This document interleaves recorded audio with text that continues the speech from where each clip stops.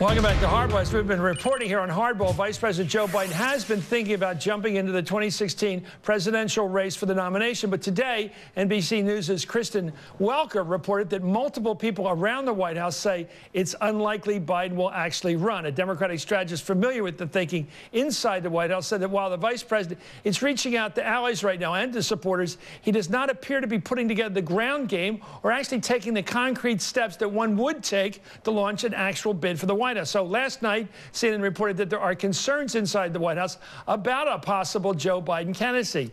Meanwhile, an important newspaper in South Carolina is pushing the VP to run. The editorial from the Post and Courier last weekend said, run, Joe, run. Well, time now for the roundtable to take a look at the facts. Steve McMahon is a Democratic strategist. Anne Gearan is a political correspondent with the Washington Post. And Jason Johnson is a radio talk show host and contributor to NBCNews.com. Okay, and you're first, the facts. What do we know from inside insider around the White House about this uh, Biden uh, boomlet or bomb, or is it a, uh, a, a trial balloon, or what is it?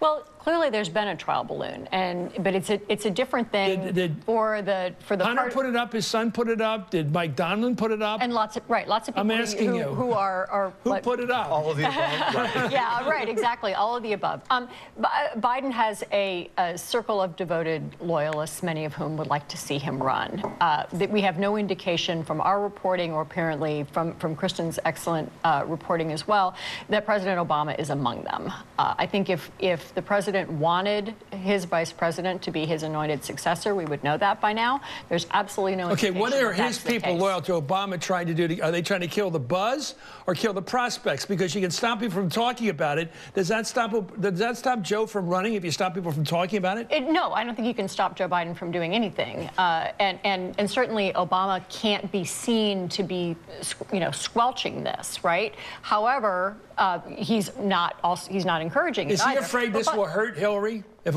if yes. Joe runs? Yes, and, and Hillary has clearly been selected as the most viable uh, vessel for the Obama legacy. And, and was there ever a be, deal? It would divide. This is a great so, question. Was there yeah, ever a deal when Hillary gave that wonderful speech in, in 2008 when she left the campaign? Mm -hmm. It was more than just gee whiz, I lost. I guess the other guy won. It was warm. It was wonderful. It was even powerful. And you got, and I didn't know then, but I always like to think about this thing. Was she promised Secretary of State at that time, or was she promised something like it? Was there a hint, hint? And this time around, did he, or maybe back then, did he promise it was her turn next? Well, she, he, she certainly was not promised Secretary of State. That actually came was as a surprise. Was she promised her turns next? Uh, we would love to know, wouldn't we? I think a lot of people think that's true. Um, I don't know if oh, my yeah, own reporting I'm, that like it's true. Ask. I don't know the answer. So, Steve. So I've talked to people who were who were present in the first Obama administration and asked them because it's a curiosity to me. Why is it that there was so much of the Obama machinery that moved so quickly and seamlessly to Hillary, and why did nobody even consider? Yeah, but they started moving six years ago.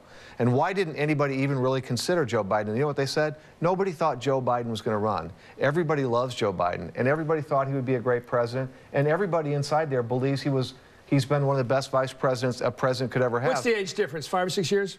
Between, between the two of them, four years. Uh, uh, four years, four right? Years, yeah. And, and, and nobody thought he would run. And so now they're sort of sitting back there going, geez, we always liked Joe. I wish he'd let us Did know he, he think he would run? serious. I, Do we I, know whether he had ever ruled it out? Like, like Dick Cheney probably ruled it out, but did this guy rule it out? I, I don't think he ruled it. I don't think you can ever rule it out. When you finally get this close after so many times of trying, I don't think you can ever rule it out. And honestly, I think it would actually help. Hillary needs some real competition. I don't think she's going to do well in this primary just steamrolling over everybody. I think a Joe Biden Is that what you call this process, steamrolling? I, I think it's steamrolling right that now. That is a powerful uh, reference she's point. Gonna, she's just marching over everybody. Well, I think one argument you make there is that he has ran twice before. Mm -hmm. Once a long time ago and once more recently.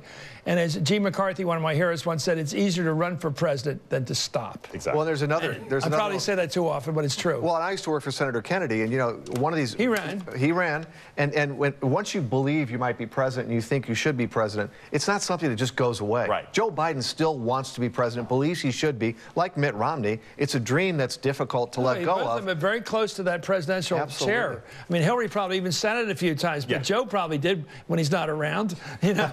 anyway, it's only next door to his office. Anyway, the roundtable is sticking with us, and up next. Well, it's Clown Car Tuesday, you know that? And driven today by, of all people, Jeb Bush with Carly Fiorina riding shotgun. They're, all the Republicans are acting a bit wacko these days, and this is Hardball, the place for politics.